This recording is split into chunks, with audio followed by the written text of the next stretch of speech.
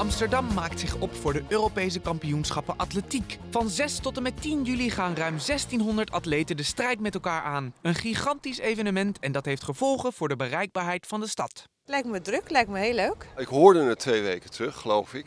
En toen heb ik het gelijk in mijn agenda gezet. Want dat wil ik wel meemaken. Ja, het is natuurlijk altijd leuk als een groot evenement zoals dit dan naar Nederland komt. En het is dan natuurlijk ook leuk dat het heel dichtbij is en dat we het gewoon met z'n allen kunnen zien. Het is het grootste sportevenement dat sinds 1928 hier georganiseerd wordt. En buiten de grootheid van het evenement zie je dat ook direct terug in het eh, aantal atleten. We hebben het meeste aantal atleten op een EK ooit. We hebben twee locaties waar de EK-atletiek plaatsvindt. De eerste locatie is het Olympisch Stadion. Daar vinden eigenlijk het merendeel van alle onderdelen plaats. En daarnaast hebben we als tweede locatie hier het Museumplein.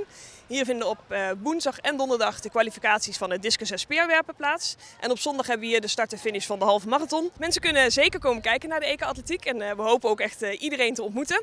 Bij het Olympisch Stadion kan je een kaartje kopen. Dat kan of aan de deur of op onze website.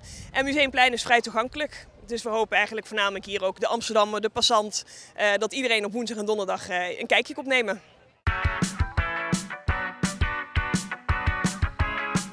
Amsterdam heeft eerder een hoogtepunt gehad op het gebied van atletiek. Tijdens de Olympische Spelen van 1928 mochten vrouwen voor het eerst in de geschiedenis meedoen aan het atletiektoernooi. De Nederlandse dames deden het goed in het Olympisch Stadion. Lien Gieshoff behaalde een zilveren medaille bij het hoogspringen.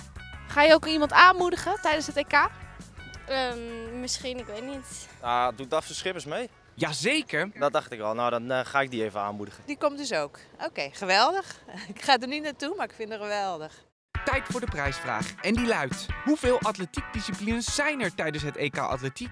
Weet u het antwoord? Ga dan naar amsterdam.nl schuine streep wegwerkzaamheden en vul daar het antwoordformulier in. En ook deze week mag de winnaar een foto kiezen uit de online beeldbank van het Stadsarchief.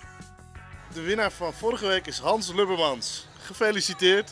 Houd tijdens het EK Atletiek van 6 tot en met 10 juli rekening met grote drukte rondom het Olympisch Stadion. Het stadion is goed bereikbaar met openbaar vervoer en de fiets. Op zondag 10 juli vindt de halve marathon plaats. Verschillende straten in het centrum worden dan afgesloten. Het parcours eh, van de halve marathon start hier op eh, het Museumplein. Daar lopen de atleten weg in zuidelijke richting.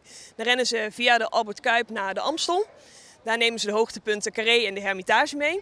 Uh, dan steken ze over weer via de Herengracht. En vanuit de Herengracht komen ze op de Stadhouderskade. Die eindigt in de ingang van het Vondelpark. In het Vondelpark lopen ze een grote lus en komen ze er weer via de hoofdingang uit. Uh, en dan eindigen ze hier weer bij het uh, tunneltje van het Rijksmuseum. Dus eigenlijk moeten mensen rekening houden tot ze vanaf een uur of zeven ochtends tot drie uur s middags last gaan hebben van wegafzettingen. Dat proberen we natuurlijk zoveel mogelijk te reguleren. Wat dus inhoudt dat we stukken alleen afzetten op het moment dat de atleten ook zijn.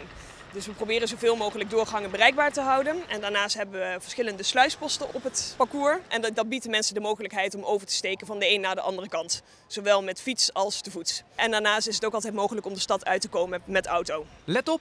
Rondom het Museumplein zal het ook erg druk zijn vanwege de grootschalige werkzaamheden in de Van Baarlestraat. Kijk voor meer informatie over de bereikbaarheid van de stad tijdens het EK Atletiek op amsterdam.nl-EK Atletiek. Dit was het verkeer. Bye!